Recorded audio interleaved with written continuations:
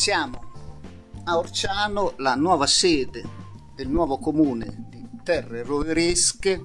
Siamo in compagnia del nuovo e primo sindaco del nuovo comune Terre Roveresche, già ex sindaco di San Giorgio di Pesaro, eletto in questa ultima tornata amministrativa Antonio Sebastianelli, un comune eh, nato dalla fusione partendo da est ad ovest di Barchi, Orciano, San Giorgio e Piagge.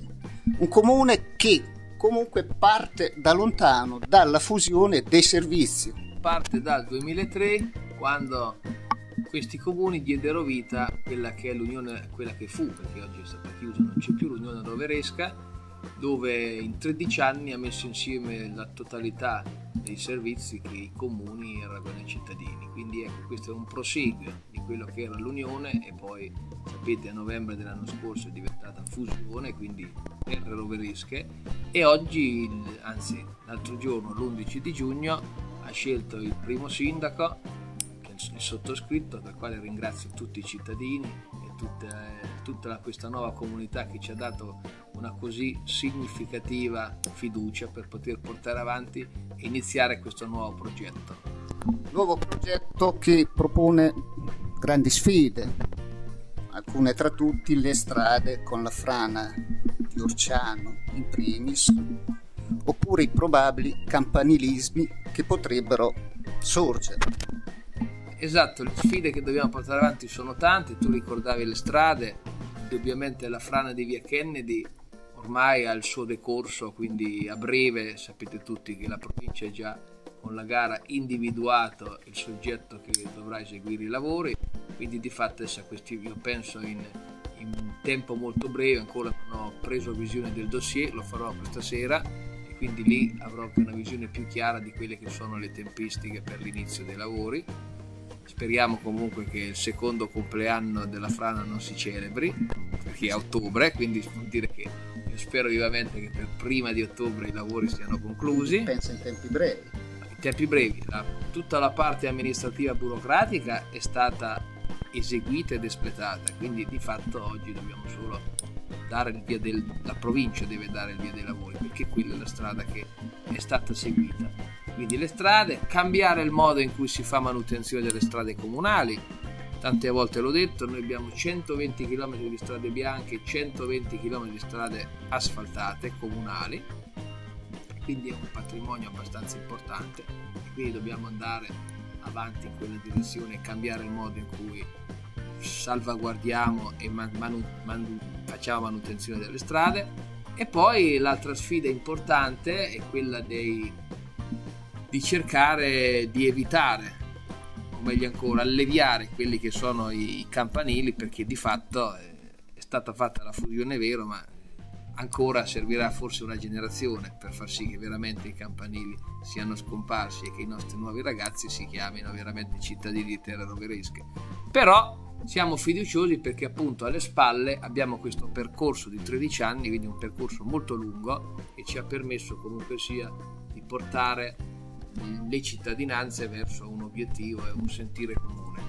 Come verrà ristrutturato il comune? Nel senso, ci saranno presidi, è già stato ristrutturato in ogni ex comune oppure c'è, rimane solo il comune ad Orciano eh, mentre nel, tutto fa riferimento a qua?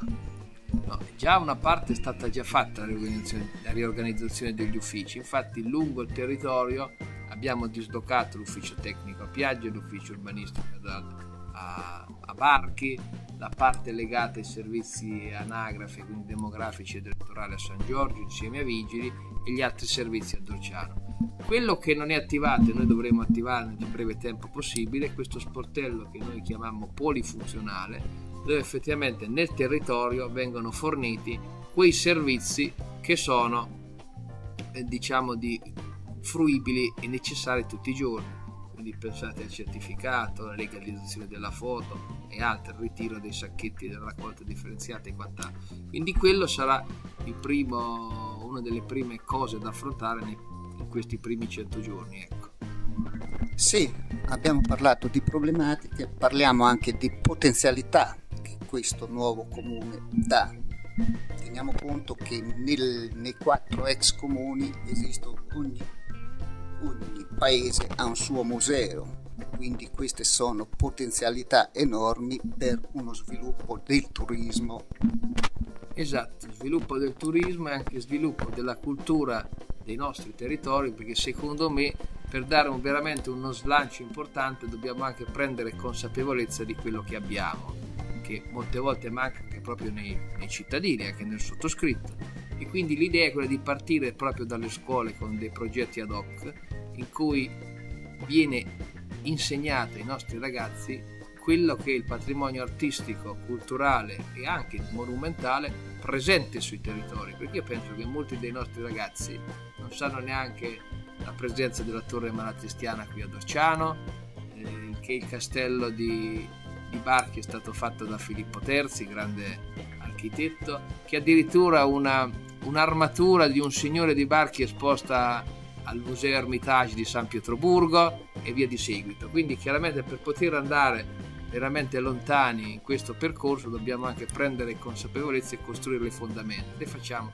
insieme alla scuola con un progetto ad hoc e soprattutto anche creando quelle che saranno delle mini guide da utilizzare sul territorio andando a coinvolgere i ragazzi delle nostre scuole, studenti universitari, eccetera. Quindi è un modo perché il filo conduttore di quello che vuole essere questa nuova compagine amministrativa che si presenta a governare terre roveresche è quello di cercare di coinvolgere il più possibile la comunità che deve piano piano riappropriarsi e gestire le proprie risorse per soddisfare i propri bisogni. Quindi questa è l'idea, quindi bisogna partire da quello che noi abbiamo.